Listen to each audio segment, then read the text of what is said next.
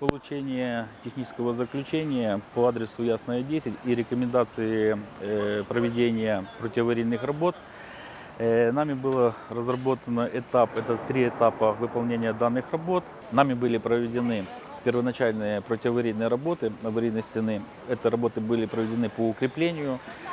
Э, Работы были проведены по укреплению для того, чтобы в дальнейшем был- была возможность безопасного демонтажа этой же аварийной стены.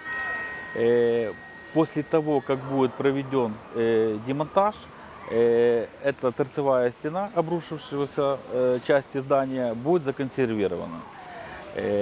Первоочередные работы по укреплению стены были выполнены в кратчайшие сроки. Это в течение двух недель эти работы были выполнены.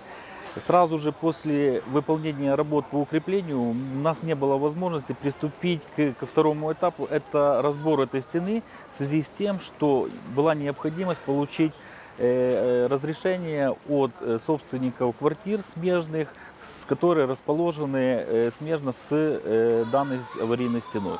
На сегодняшний день у нас уже есть все разрешения, и мы готовы уже с сегодняшнего дня э, приступаем к работам по демонтажу. Э, Сегодня было выездное совещание по данному адресу. Мы встречались с подрядной организацией, которая будет, выполняет эти работы. Также были представители компаний, которые будут предоставлять нам спецтехнику, которая будет участвовать в этом разборе.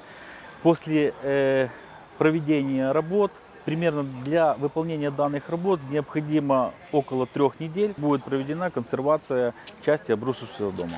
Подрядная организация уже с завтрашнего дня приступает к выполнению данных работ.